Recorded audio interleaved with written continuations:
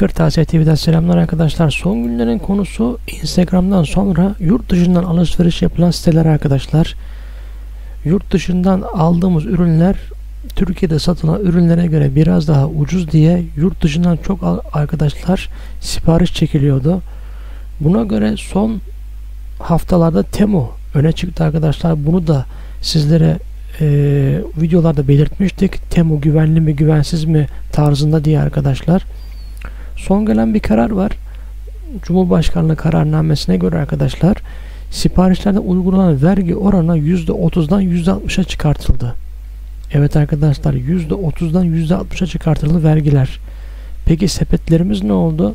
Maksimum sepet siparişlerimiz arkadaşlar 150 Euro'dan 30 liraya düşürüldü. 150 Euro'ydu arkadaşlar bundan önce. Şimdi ne oldu? 30 liraya düşürüldü. Vergimiz ne oldu? %30'dan %60'a çıkarıldı arkadaşlar. Hani deriz ya bıçaktaki e, makastaki aralık daralıyor diye arkadaşlar.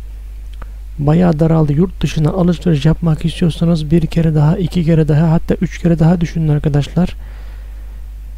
Türkiye'de yapacaksınız artık alışverişlerinizi. Peki bundan sonra sepetimiz nasıl oluşacak? Temu ile ilgili hemen bakalım arkadaşlar. Minimum sepet tutarımız 670 lira olacak.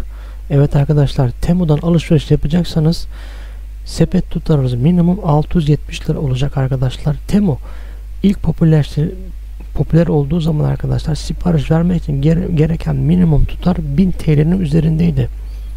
Yeni düzenleme ile sipariş tutarının 1000, t- 1000 TL'ye düşürülmesi sebebiyle Temu'nun minimum sepet tutarı da azalmış oldu.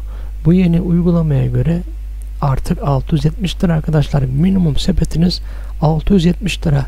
Detayları videomuza tekrardan koyduk. Görüşmek üzere arkadaşlar.